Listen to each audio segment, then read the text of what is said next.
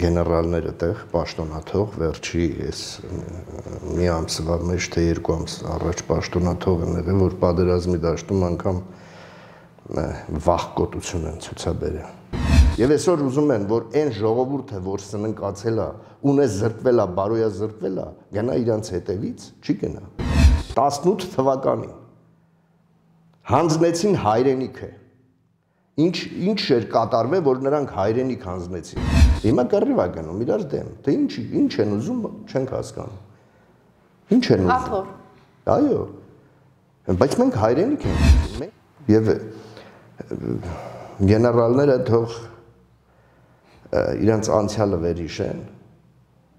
ոնց են եկե միջև այսօր, ոնց են դարել գեներալ, ոնց են կարողանում շատ ճոխ կյանքով ապրել ու մի քանի տարի հետո, մի 20-30 տարի հետո արդեն կարմիր գրքի մեջ հային կգրվի։ Եթե այսօր մենք ուշքի չգնանք, ուզում են բանակի թիվը կրճատեն, ուզում են զենքերի թիվը կրճատեն, ուզում են ընդհանրապես բարեկային ծառայություն տնեն,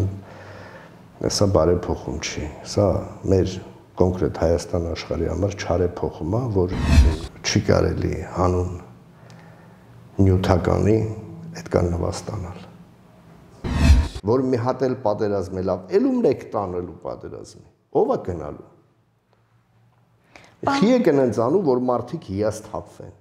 Թե նախկիները, թե նախկիների նախկիները, թե ներկաները, բոլորը միլիոնատեր են դոլարով։